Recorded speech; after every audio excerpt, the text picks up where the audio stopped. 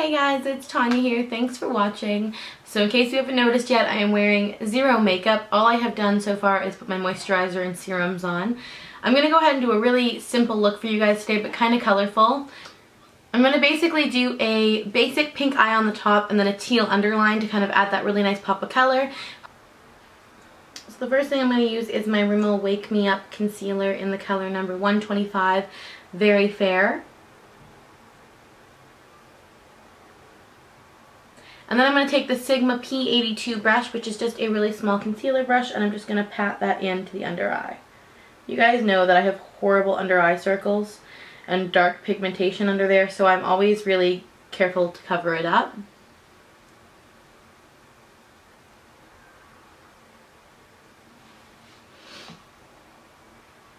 And I always kind of sort of pat and blend in a triangle motion so that it highlights the under eye. And then I'm going to follow that up with the Rimmel Wake Me Up Foundation in the color number 100 Ivory. You guys know this is one of my favorite foundations. I just take one and a half pumps. And a Sigma F82 brush. I'm liking the 82s today, I think. And I'm just going to pat that on this side of my face and blend it in. Right up into the hairline and then down along the jawline and just pull some of it down onto the neck.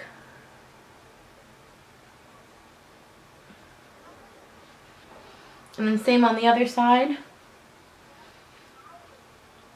Dab it onto my face and then blend it all the way out. So if you see me looking down in this direction, it's because that's where I have my mirror today. So I'm just using my mirror to help me apply my makeup. And so I'm kind of looking in it while I'm doing it. There we go. Then with a small angled brush, I'm just going to take the Physicians Formula Solar Powder Bronzer in Light Bronzer. This is an SPF of 20, as you can see. It's written across here. I just like to blend all those colors together. It's very light for a bronzer, so it works really nice kind of as a contour and then just to add some color to the face.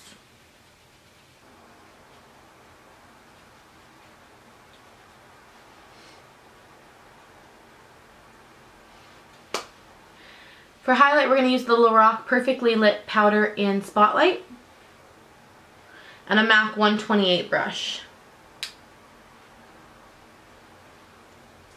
I'm just going to dab that on the upper cheekbones.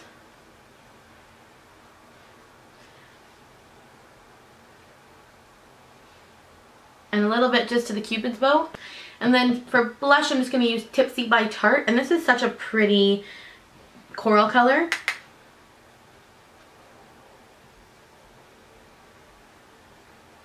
Remember these blushes are really pigmented, so you want to use a light hand and then build up if you need to.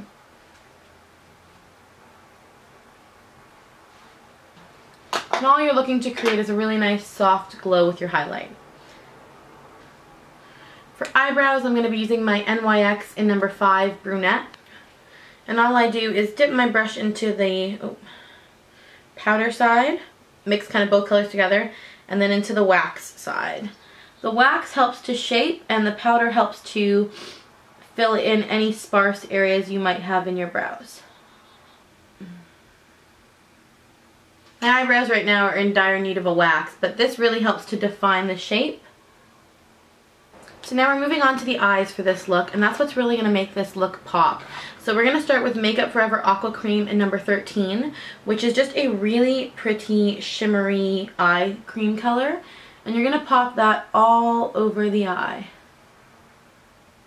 So that's just created a really nice shimmery base on that side for that eye look.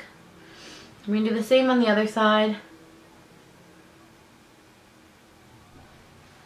Start by using it on the back of a brush. Fill in the eye area. And take the warm finger and blend it out. There we go. Next we're going to take just a flat shader brush like this one. And any pinky neutral toned eyeshadow.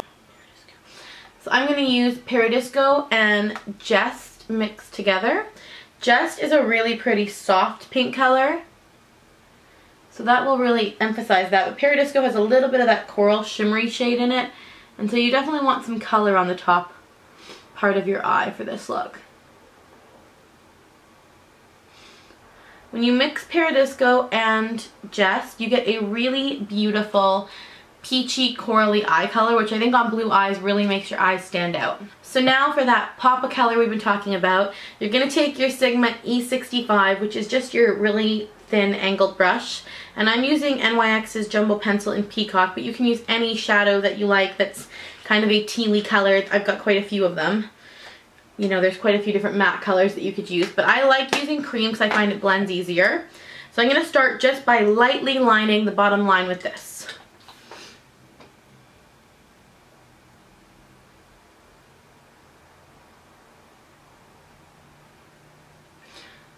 So just lightly lining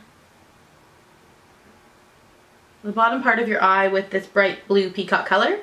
Then you're going to take your brush and blend that out. Now I recommend going in with a small pencil brush. This is the MAC 219. And finding a teal colored eyeshadow, I'm going to use MAC's, I'm going to use MAC's Teal Blue, which is this one right here. You just want to apply a little bit at the tip of your brush and then smudge it under the eye, right over where you went with the NYX pencil. This is just going to create a gradual fade and also help set the cream shadow color so that it doesn't move as much during the day. Now for mascara, I'm going to start with the Lash Prime from Tarte. So I'm going to go ahead and do two coats of that.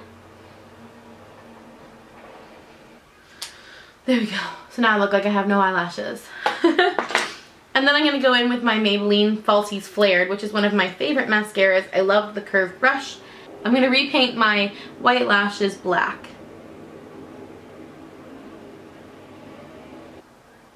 And then just a little bit of mascara on the bottom lash line.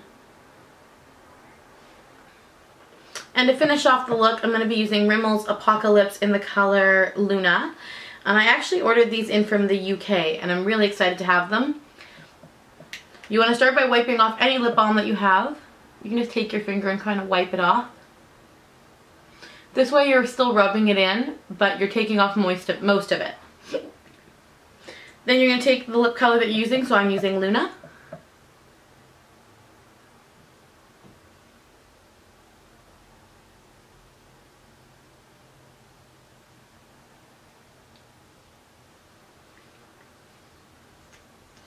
Now you do want to be careful with these because they're really pigmented. And so you don't want to apply too much.